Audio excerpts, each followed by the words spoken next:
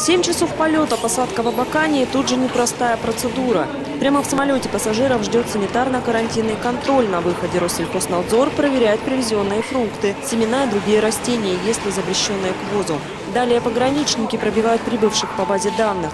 Следом идет проверка паспортов и последний пункт – таможенный контроль, досмотр багажа.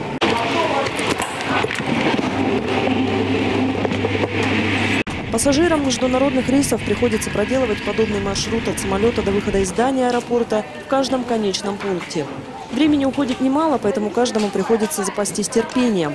В Абаканском аэропорту для того, чтобы ускорить процесс таможенного контроля, надзорники установили второй рентген. Уже на двух рейсах мы его опробовали, сегодня третий. Э, Время значительно сокращается. Если раньше мы э, оформляли э, авиарейсы всех пассажиров примерно час, час 10, сейчас это 35 минут. То есть существенное сокращение времени совершения таможенных операций.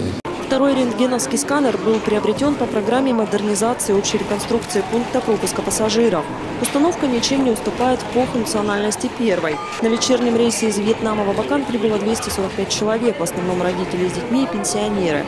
Несмотря на такое количество пассажиров, около аппарата ни очереди, ни давки. Быстро, хорошо. Ту-ту и домой. Да-да, быстро прошли. Да, конечно, это я считаю, что надо, чтобы дополнительно обязательно было хотя бы еще бы три добавить. Да, Это что-то не чувствуется. А здесь это уже финиш. Таможенники засекают время прохождения досмотра багажа на каждом рейсе. Кстати, в международных аэропортах для удобства граждан предусмотрены два особых коридора.